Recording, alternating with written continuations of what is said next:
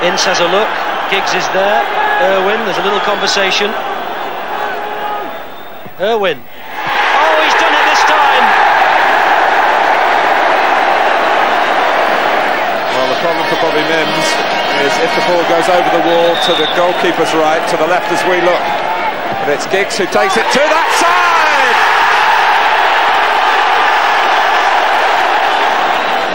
Noticed Brown. Um, I know, sorry, man. I noticed Gary Palace Pallister's round the ball. He hasn't scored this season, has he? I just wonder if they're saying, "Go on, big man, have a go."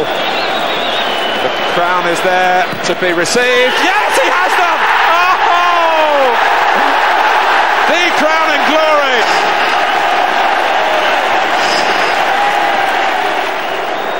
Six men in the wall.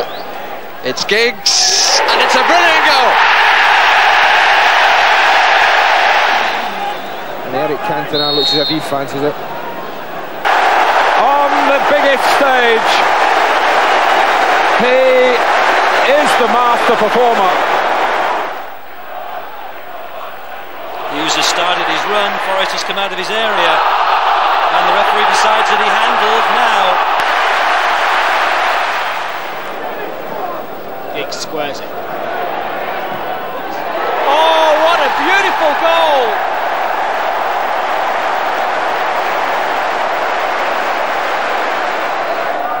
Hansen a player on the line to try and stop Beckham, but it's not enough.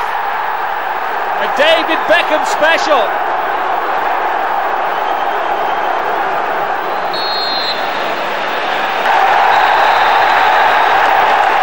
Oh, what a goal! What a goal! My favourite goal I scored is, was probably the one against Liverpool uh, at Anfield in the 3-3 draw. I think we scored to go 3-0 up at the time. We were cruising, but uh, unfortunately Liverpool got back with us. But this is incredible. I think it's the first time we've ever seen a free kick given from outside the box, and United don't have a player in there. Irwin, it's three! And everything they hit ends up in the back of the net. And even by Manchester United standards, this is simply stunning.